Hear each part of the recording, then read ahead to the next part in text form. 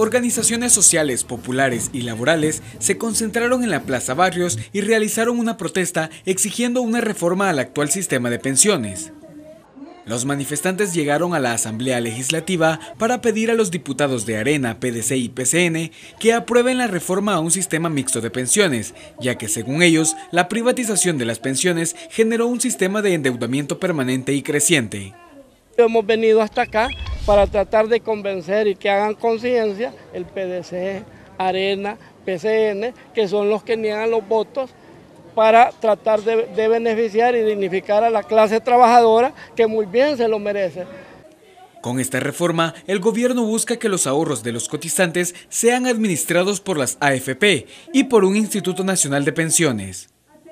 Cuando nos jubilemos con las AFP se nos termina nuestro ahorro y el gobierno obligadamente tiene que darnos 207 dólares. ¿Por qué si el gobierno no está recibiendo ningún dinero tendría que estar dándonos la pensión luego que se nos termina la cotización con las AFP? Entonces es algo injusto y es por eso que este día estamos luchando para que sea aprobada la reforma de la ley de pensiones.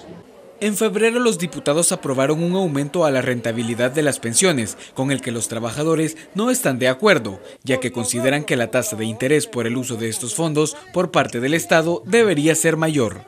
Con imágenes de Nilton García y Juan José Portillo, informó para la prensa gráfica.com Josué Lorenzana.